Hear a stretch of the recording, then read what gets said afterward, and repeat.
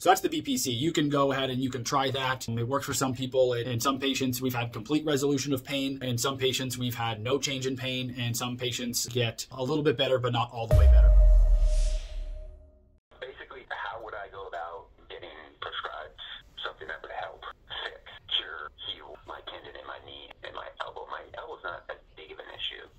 Uh, it's really the knee. Okay. The BPC 157 is available in its oral form over the counter. So you don't need a doctor to tell you how to take it. It doesn't need to be prescribed to you, anything like that. So about I think a year and a half ago, the oral version got moved to over the counter. You don't need to do the injectable version. We've been using BPC now for four years, and we've used both injectable and oral. And I've never really seen a big difference between injectable and oral version in most people. Some people the oral works better, some people the injectable works better, but for most people they're going to be about equal, and that's also supported in all the animal research that route of administration doesn't really matter. Whether it's on my YouTube or on my Instagram or whatever else, there's a link for the DNA Health, which is the company that we use because they have the arginate form, which is the better form of BPC. So that's the BPC. You can go ahead and you can try that. It works for some people. In some patients, we've had complete resolution of pain. In some patients, we've had no change in pain. And some patients get a little bit better, but not all the way better. Any of the other peptides outside of that, whether it's GHK copper or TB500 or the growth hormone secretagogues, all of those things, they'll need to be prescribed by a doctor because, in our opinion, they should be coming from a compounding pharmacy. You can go online and find research chemical peptides. However, that's kind of a play at your own risk, and I do not advise that. And the reason is because those research chemical labs are not what are called GMP facilities, meaning they don't have the standards for ensuring sterility and purity. And we have had a ton of horror stories on people who get infections or really, really weird reactions to peptides and they go, oh, I'm allergic to BPC 157. In reality, they were allergic to something or had a reaction to something else and not the actual peptide. And there's no guarantee you're getting what you're actually